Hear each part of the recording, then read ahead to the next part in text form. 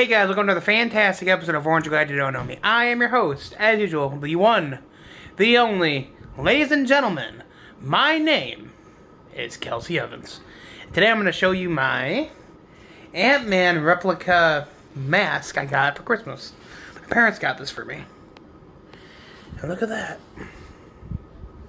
Now look at this. It's actually really nice for a mask. My dad bought it for me for Christmas. Look at this. How cool this is. You can see. I mean, it's not made of metal, it's made of rubber, but still, look at this. Tell me that's not cool.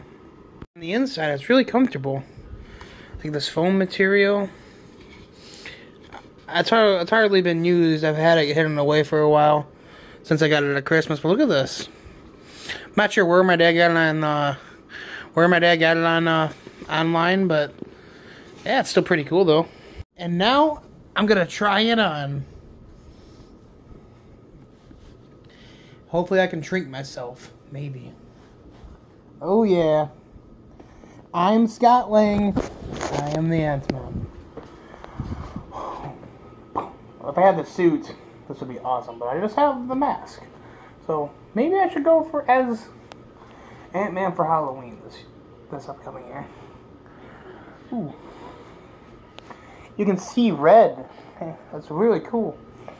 It's like a 3D effect. I hope you you enjoyed my Ant-Man replica mask because it's really cool. Hopefully, I'll have a suit one day to go with it to match it. I got I got an Ant-Man suit from the MCU from the MCU to complete it, and maybe I can have a full Halloween costume. Anyway, I hope you enjoy this video, and stay tuned for another episode of Orange You Glad You Don't Know Me, where random things are constantly always randomly happening. Signing off.